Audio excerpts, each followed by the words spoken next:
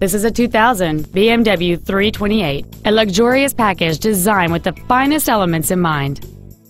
The balanced six-cylinder engine, connected to an automatic transmission, produces crisp acceleration. This BMW features a sunroof, cruise control, a CD player, three-point rear seatbelts, interval windshield wipers, and this vehicle's stylish design always looks great.